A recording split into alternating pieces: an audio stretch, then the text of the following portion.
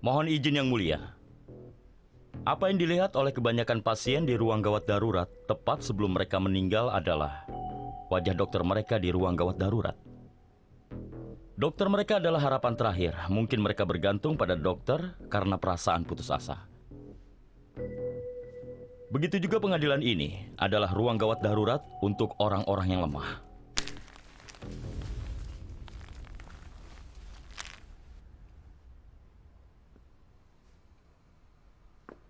Dan dia adalah pasienmu yang duduk tepat di depanmu. Dan dengan putus asa, dia mencari keadilan darimu. Jangan berpaling dari orang ini.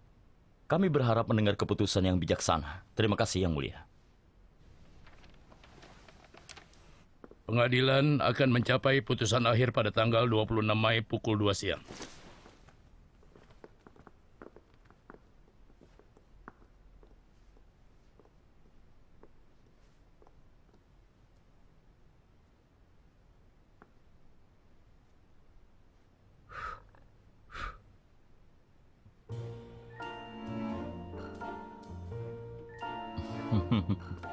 Apa yang dia lakukan? Itu Ada-ada kan saja. duetku. Seperti tidak malu.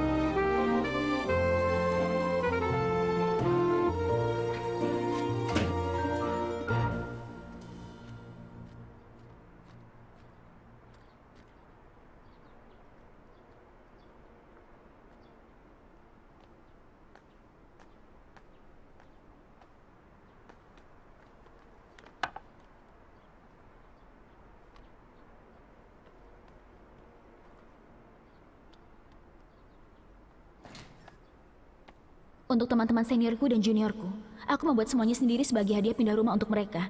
Aku ke pernikahan mereka, tapi aku tidak diundang ke pesta pindah rumah mereka. Itu sebabnya mereka masih di sini. Mereka semua, aku berharap mereka menjalani kehidupan yang baik.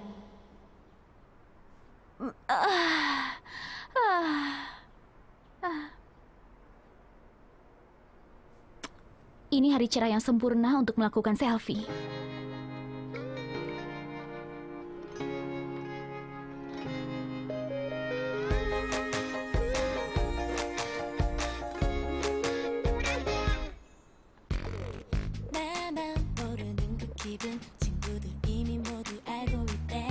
Apa kau lapar? Hmm? Ayo, kemari, kemari. Ayo.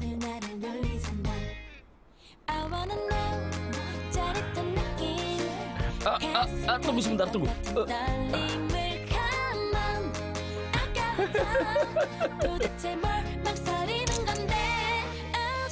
Astaga.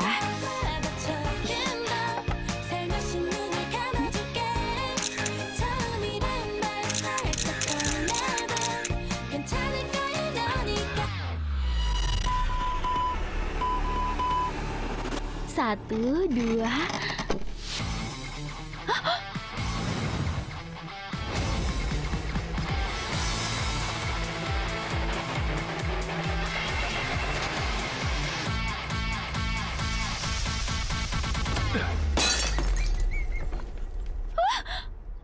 Hei kau!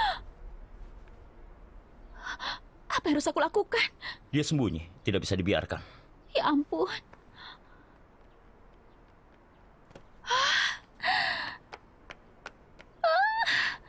Ah, Aku dalam masalah.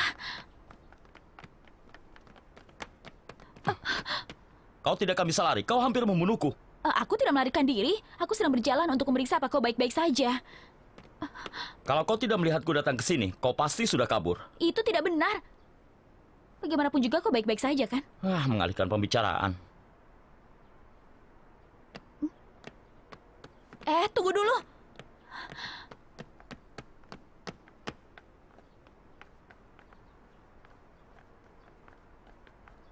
Apa yang kau lakukan? Oh, jadi begitu. Sekarang aku tahu apa yang terjadi. Kau mengambil salah satu pot bunga ini dan mengarahkannya padaku. Tidak, itu tidak disengaja. Kenapa aku harus melakukan hal itu? Kau pikir aku mengarangnya? Sudah jelas wajahmu penuh dengan keluhan terhadap dunia. Ini adalah kejahatan yang suka kau lakukan dengan orang-orang di sekitarmu. Itu tidak benar ya. Aku mengambil foto selfie di sebelah pot dan aku mendorongnya tidak sengaja. Aku minta maaf kalau itu membuatmu takut. Aku benar-benar menyesal. Tidak aman bermain sendiri di atap seperti ini. Bergaulah dengan teman-temanmu di kafe atau di mana saja. Dan gaya rambutmu itu.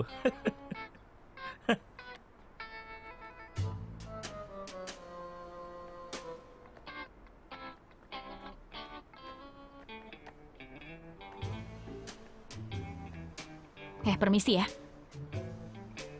Ah, kau tidak perlu minta maaf lagi. Kau boleh pergi sekarang.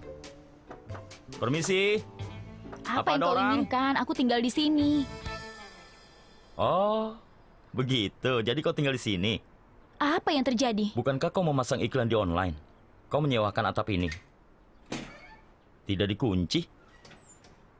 Apa yang dia lakukan? Eh, Permisi. Hmm? Yang kau lakukan?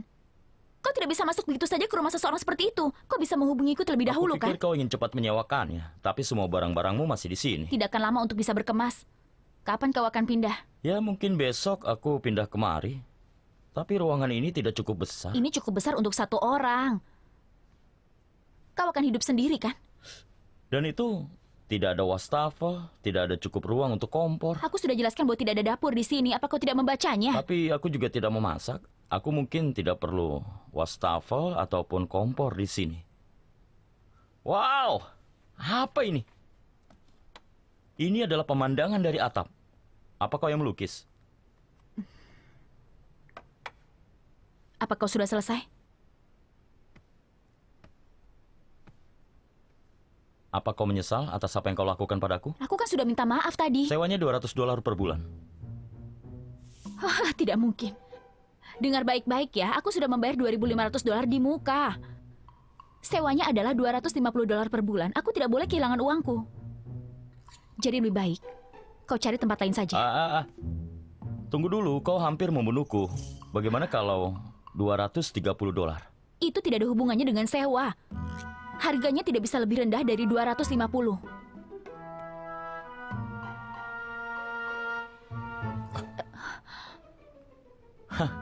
Ya ampun, kau ini keras kepala. Baiklah, kita tanda tangani kontraknya. Aku akan pindah besok dan kosongkan tempat ini tepat waktunya. Ingat itu. Tunggu dulu. Mana depositnya? Hah? Depositnya 25 dolar, 10% dari harga sewa. Oh. Tapi aku tidak punya uang tunai sekarang. Aku cuma punya kartu ini. Bukankah ini kartu metro untuk transportasi umum? Apa kau punya masalah? Aku bisa beli apa pun di setiap toko dengan ini. Hah? Lihat baik-baik, ini kartu VIP. Benda ini sangat berharga. Itu bukan urusanku. Silakan pergi. Ada banyak orang yang ingin melihat tempat ini. Apa sepenting itu untuk membayar deposit di muka? Iya. Dan aku tidak punya waktu untuk hal ini. Dengar ya. Aku kan sudah bilang aku tidak bawa uang tunai. Permisi, tapi aku harus berganti pakaian dan aku harus pergi. Ya, baiklah.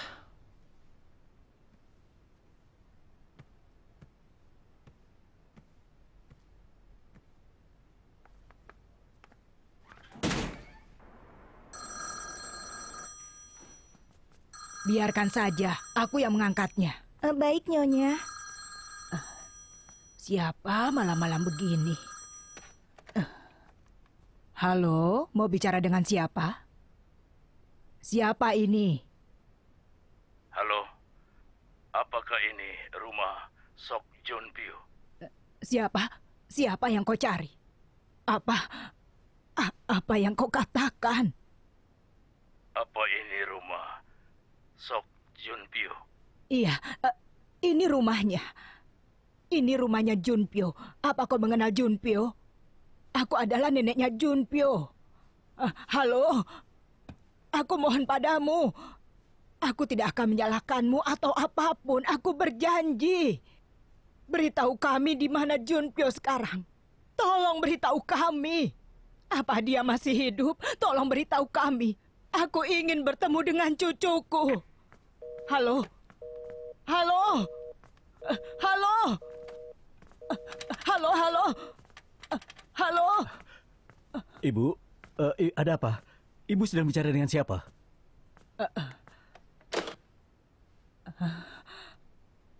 Dia menanyakan apakah ini rumah Junpyo. Apa? Eh, Jun Junpyo? Memangnya apa lagi yang dia katakan? Dia terdengar cukup tua. Suaranya gemetar. Dia bertanya apakah ini rumahnya Junpyo begitu.